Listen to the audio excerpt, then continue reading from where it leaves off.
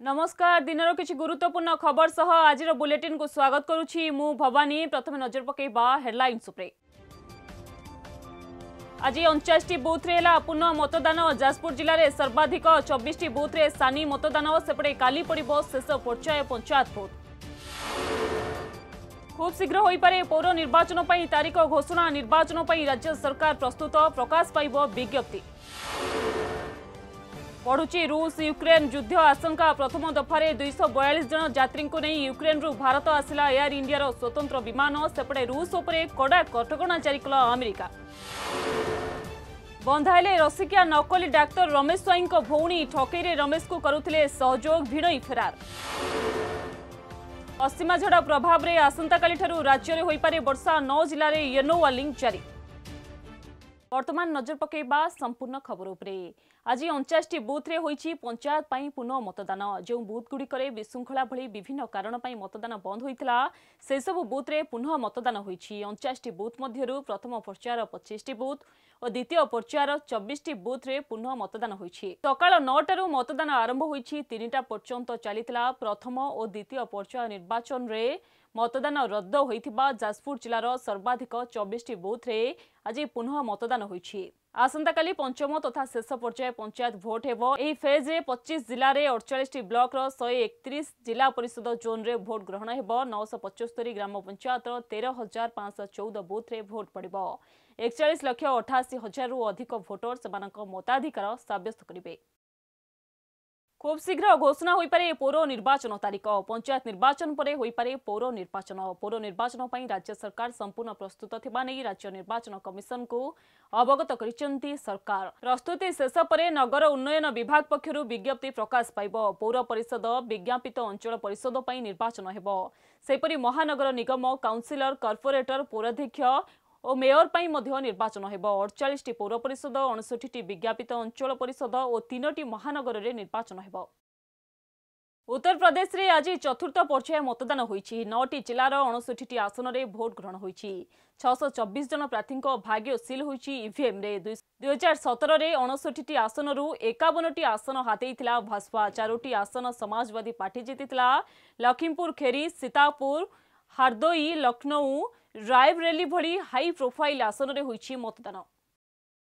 ପଞ୍ଚାୟତ ନିର୍ବାଚନ ସମୟରେ ବିଭିନ୍ନ ସ୍ଥାନରେ ବିଜେଡି କର୍ମୀଙ୍କୁ ଆକ୍ରମଣ କରାଯାଇଥିବା ଅଭିଯୋଗରେ ରାଜ୍ୟ ନିର୍ବାଚନ କମିଶନଙ୍କ କାର୍ଯ୍ୟାଳୟ ଆଗରେ ପ୍ରତିବାଦ କରିଛି ବିଜେଡି। ଦୋଷୀଙ୍କ ବିରୋଧରେ କାର୍ଯ୍ୟାନୁଷ୍ଠାନ ପାଇଁ ଦାବି କରିଛି ବିଜେଡି। ପରାଜୟ ଭୟରେ ଭାଜପା ଏଭଳି କରିଥିବା ଅଭିଯୋଗ କରିଛି ବିଜୁ ଜନତା ଦଳ। ଅନ୍ୟପଟେ ଭାଜପା ମଧ୍ୟ ନିର୍ବାଚନ କମିଶନଙ୍କ କାର୍ଯ୍ୟାଳୟ ସମ୍ମୁଖରେ ଧାରଣା ଦେଇଛି। ଦଳ ଅଭିଯୋଗ କରିଛି ବିଜେଡି ସମସ୍ତ ଅଫିସରଙ୍କୁ ପ୍ରଚାର କରିବା ପାଇଁ ବାଧ୍ୟ କରୁଛି ଏବଂ ନିର୍ବାଚନ ସମୟରେ ହିଂସା ସୃଷ୍ଟି କରୁଛି। ରୁଷ ଓ ୟୁକ୍ରେନ ସମ୍ଭାବ୍ୟ ଯୁଦ୍ଧକୁ ନେଇ ଭୟଭୀତ ସାରା ବିଶ୍ୱ। ସବୁ ଦେଶ ଏବେ ନିଜ ନିଜ ନାଗରିକଙ୍କୁ ନିଜ ଦେଶକୁ ଫେରାଇ ନେଉଛନ୍ତି। ତେବେ ୟୁକ୍ରେନରୁ ପ୍ରଥମ ଦଫାରେ ଦୁଇଶହ ବୟାଳିଶ ଜଣ ଯାତ୍ରୀଙ୍କୁ ନେଇ ଭାରତ ପହଞ୍ଚିଛି ଏୟାର ଇଣ୍ଡିଆର ସ୍ୱତନ୍ତ୍ର ବିମାନ। ଗତକାଲି ବିଳମ୍ବିତ ରାତିରେ ଉକ୍ତ ବିମାନଟି ୟୁକ୍ରେନରୁ ଆସି ନୂଆଦିଲ୍ଲୀ ଏୟାରପୋର୍ଟରେ ପହଞ୍ଚିଛି।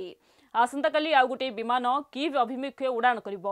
ଭାରତୀୟଙ୍କୁ ସୁରକ୍ଷିତ ସ୍ୱଦେଶ ଫେରାଇବା ପାଇଁ ସରକାର ବନ୍ଦେ ଭାରତ ମିଶନ ଜରିଆରେ ଅପରେସନ ଆରମ୍ଭ କରିଛନ୍ତି। ଅନ୍ୟପଟେ ରୁଷ ଉପରେ କଡ଼ା ଆଭିମୁଖ୍ୟ ଗ୍ରହଣ କରିଛି ଆମେରିକା। ପାଶ୍ଚାତ୍ୟ ରାଷ୍ଟ୍ର ସହ ଆର୍ଥିକ ଓ ବାଣିଜ୍ୟିକ ସମ୍ପର୍କ ଉପରେ କଟକଣା ଜାରି କରିଛି ଆମେରିକା। ୟୁକ୍ରେନକୁ ଯୁଦ୍ଧାସ୍ତ୍ର ପଠାଯିବା ସହ ରୁଷ ବିରୋଧରେ ନାଟୋ ସୈନ୍ୟ ମୁତୟନ ହେବ। ରାଷ୍ଟ୍ର ଉଦ୍ଦେଶ୍ୟରେ ଉଦ୍ବୋଧନ ଦେଇ ବାଇଡେନ୍ କହିଛନ୍ତି ୟୁକ୍ରେନ ପ୍ରସଙ୍ଗରେ ରୁଷ ବିଶ୍ୱ ସମୁଦାୟର ନିଷ୍ପତ୍ତିକୁ ଅବମାନନା କରିଥିବାରୁ ଏହି କଟକଣା ଜାରି କରାଯାଇଛି ରୁଷର କାର୍ଯ୍ୟାନୁଷ୍ଠାନ ଅନ୍ତର୍ଜାତୀୟ ନିୟମାବଳୀର ଉଲ୍ଲଂଘନ କରୁଛି ବୋଲି କହିଛି ଆମେରିକା ରୁଷ ଉପରେ ପଶ୍ଚିମ ଦେଶଗୁଡ଼ିକରୁ ମିଳୁଥିବା ସମସ୍ତ ପ୍ରକାର ସହଯୋଗ ଉପରେ ରୋକ୍ ଲଗାଯାଇଛି ଋଣ ଉପରେ ବି ପ୍ରତିବନ୍ଧକ କରାଯାଇଛି ପୁଟିନଙ୍କୁ ସମାଲୋଚନା କରି ବାଇଡେନ୍ କହିଛନ୍ତି ଯେ ପୁଟିନ ନିଜର ବଳ ଦେଖାଇ ଅଧିକ ଏରିଆ ଦଖଲ କରିବାକୁ ଚାହୁଁଛନ୍ତି ୟୁକ୍ରେନ ଦେଶକୁ ଅଲଗା ଅଲଗା କରି ନୂଆ ସ୍ୱାଧୀନ ରାଷ୍ଟ୍ରର ମାନ୍ୟତା ଦେବା ଅନ୍ତର୍ଜାତୀୟ ଆଇନର ଉଲ୍ଲଂଘନ ରୁଷ ଯେତେ ଯେତେ ଆଗକୁ ବଢ଼ିବ ତା ଉପରେ କଟକଣା ଆହୁରି ଅଧିକ ଲାଗୁ କରାଯିବ ବୋଲି ବାଇଡେନ୍ କହିଛନ୍ତି। ଅନ୍ୟପଟେ ଏବେ ୟୁକ୍ରେନ ଭିତରକୁ ଯିବା ପାଇଁ ରୁଷ ଯବାନମାନେ ଉଦ୍ୟମ ଆରମ୍ଭ କରିଥିବା ନୂଆ ସାଟେଲାଇଟ୍ ଛବିରୁ ଜଣାପଡ଼ିଛି। ରୁଷ ସୈନ୍ୟମାନେ ୟୁକ୍ରେନ ସୀମାଠାରୁ ମାତ୍ର କୋଡ଼ିଏ କିଲୋମିଟର ଦୂରରେ ରହିଛନ୍ତି। ସେପରି ସୀମାନ୍ତ ଅଞ୍ଚଳରେ ଅସ୍ଥାୟୀ ହସ୍ପିଟାଲ ନିର୍ମାଣ କରାଯାଉଛି। ଏହାର ଅର୍ଥ କାର୍ଯ୍ୟାନୁଷ୍ଠାନ ସମୟରେ ସୈନ୍ୟମାନେ ଆହତ ହେଲେ ଏହି ହସ୍ପିଟାଲରେ ଚିକିତ୍ସିତ ହେବେ। ଗିରଫ ହେଲେ ମହାରାଷ୍ଟ୍ରର ମନ୍ତ୍ରୀ ତଥା ଏନ୍ସିପି ନେତା ନବାବ ମଲ୍ଲିକ ଅଣ୍ଡରୱାର୍ଲ୍ଡ ସହ ଜଡ଼ିତ ଏକ ମନି ଲଣ୍ଡରିଂ ମାମଲାରେ ଇଡି ତାଙ୍କୁ ଗିରଫ କରିଛି। କୁଖ୍ୟାତ ଅଣ୍ଡରୱାର୍ଲ୍ଡ ଡନ୍ ଦାଉଦ ଇବ୍ରାହିମ ସହ ଲିଙ୍କ ଥିବା ଅଭିଯୋଗରେ ଆଜି ସକାଳ ଛଅଟାରେ ଇଡି ଅଫିସରମାନେ ତାଙ୍କ ବାସଭବନରେ ପହଞ୍ଚି ତାଙ୍କୁ ପ୍ରାୟ ଏକ ଘଣ୍ଟା ମାରାଥନ ଜେରା କରିଥିଲେ ପରେ ତାଙ୍କୁ ସାଢ଼େ ସାତଟାରେ ଇଡି ଅଫିସକୁ ନିଆଯାଇଥିଲା ସେଠାରେ ଆଉ ଘଣ୍ଟାଏ ଜେରା କରାଯାଇଥିଲା ଜେରା ପରେ ଇଡି ନବାବ ମଲ୍ଲିକଙ୍କୁ ଗିରଫ କରିଛି ମନି ଲଣ୍ଡରିଂ ମାମଲାରେ ଇଡି ପଚରାଉଚରା କରିଥିଲା ପୂର୍ବରୁ ନବାବ ଓ ଅନ୍ୟ କେତେଜଣଙ୍କୁ ଜେରା ଲାଗି ସମନ ଜାରି କରିଥିଲା ଇଡି ଗତ ସୋମବାର ଦାଉଦର ଭଉଣୀ ସ୍ୱର୍ଗତ ହାସିନା ପାର୍କରଙ୍କ ପୁଅ ଅଲିସା ପାର୍କରଙ୍କୁ ମଧ୍ୟ ଜେରା କରିଥିଲା ଇଡି ଦାଉଦର ବିଭିନ୍ନ ବେନାମୀ ସମ୍ପତ୍ତି ନେଇ ତାଙ୍କୁ ଜେରା କରାଯାଇଥିଲା। ଦାଉଦକୁ ବିଭିନ୍ନ କ୍ଷେତ୍ରରେ ଅଲିସା ସହଯୋଗ କରୁଥିବା ନେଇ ଅଭିଯୋଗ ହୋଇଥିଲା। ବନ୍ଧା ହେଲେ ରସିକିଆ ନକଲି ଡାକ୍ତର ରମେଶ ସ୍ୱାଇଁଙ୍କ ଭଉଣୀ। ଏକାଧିକ ବିବାହରେ ତାଙ୍କ ଭଉଣୀ ସମ୍ପୃକ୍ତ ରହୁଥିଲେ। ଅଭିଯୋଗ କରିଥିବା ମହିଳାମାନେ ତାଙ୍କ ଭଉଣୀକୁ ଚିହ୍ନଟ କରିବା ପରେ ରମେଶଙ୍କ ଭଉଣୀକୁ ଗିରଫ କରାଯାଇଛି। ରମେଶ ଏବଂ ତାଙ୍କ ଭଉଣୀଙ୍କୁ ସାମ୍ନାସାମ୍ନି ଜେରା କରିଥିଲା ପୋଲିସ।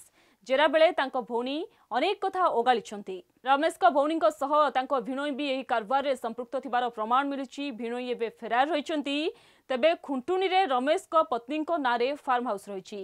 ପ୍ରାୟ ପନ୍ଦରରୁ କୋଡ଼ିଏ ଏକର ଜମିରେ ଫାର୍ମ ହାଉସ୍ ରହିଛି। ସେପଟେ ନୂଆ ନୂଆ କାରନାମା ସାମ୍ନାକୁ ଆସିବା ପରେ ରମେଶଙ୍କୁ ଆଉ ସାତ ଦିନ ରିମାଣ୍ଡରେ ଆଣିବାକୁ ଆବେଦନ କରିବ ପୋଲିସ।